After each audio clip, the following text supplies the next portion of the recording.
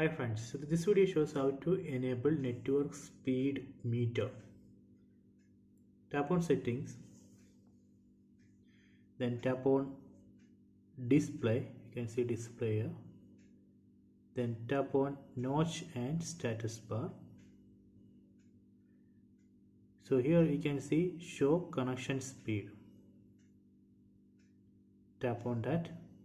So when you enable it, here on top you can see the connection speed. If you disable it see it's not showing. If you enable it it will come. So this way we can enable network connection speed meter uh, in Redmi Note 8 Pro so i hope you enjoy this video. Please subscribe my channel. Please like and share the video